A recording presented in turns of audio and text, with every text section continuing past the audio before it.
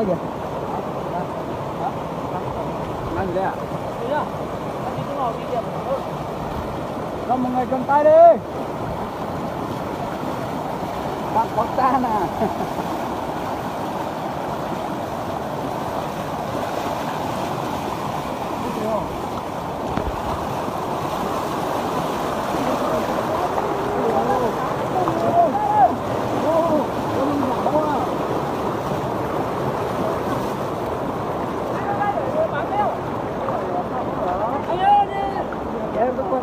luôn Hả?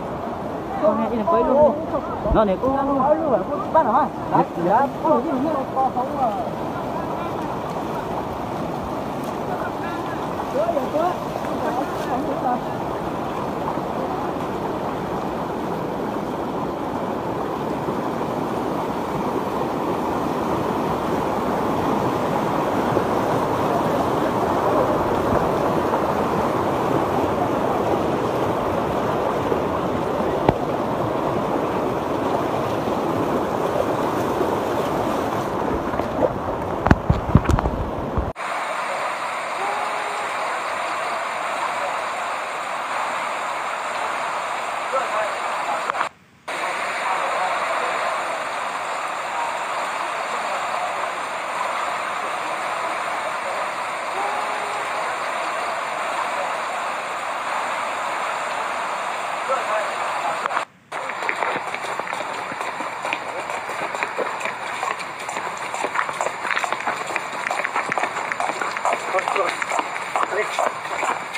Lũ quét vùi lấp cả một bản làng 128 người ở Lào Cai, mới cứu được 10 người, tìm được 16 thi thể. Trận lũ quét xảy ra ở huyện Bảo Yên, Lào Cai đã vùi lấp toàn bộ thôn làng nủ nơi có 35 hộ dân, 128 khẩu cư trú. Xác định sơ bộ có hơn 30 người sống sót và bị thương, còn lại có thể là mất tích và tỉnh đang tiếp tục tổ chức tìm kiếm. Các lực lượng chức năng của huyện đang tranh thủ thời gian, gấp rút huy động lực lượng tiếp cận khu vực sạt lở tiếp tục tìm kiếm người mất tích.